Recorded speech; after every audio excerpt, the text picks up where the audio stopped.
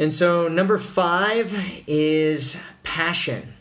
It is experiencing passion. And, and basically passion is is about caring deeply about something even if it's just about life in general. So it doesn't necessarily need to be about something very specific although it can be and emotion is incredibly attractive right? Eh, it's you you've probably experienced this as well right? Like when you see a guy that's really kind of passionate about life and passionate about things that are going on it's like whoa like that's cool right? It it, it experience you experience these emotions and and most people that you go and walk around and talk to they don't experience a lot of emotion outside of like watching TV shows or watching movies or or doing something where they they are passively experiencing different emotions by watching it through kind of entertainment means. And so when you actually have emotion and it's fun, you know, like there's a woman that was talking about this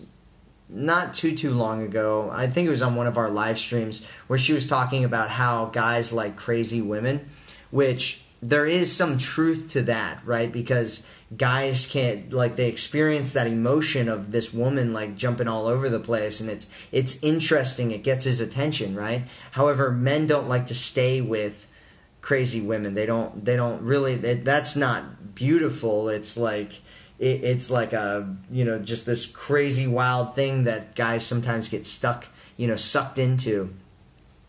But anyway i'm going off on a tangent here the point is that uh, positive emotion is incredibly powerful, and passion is one of the most powerful positive emotions that you can possibly have. There's a lot of P's in that sentence.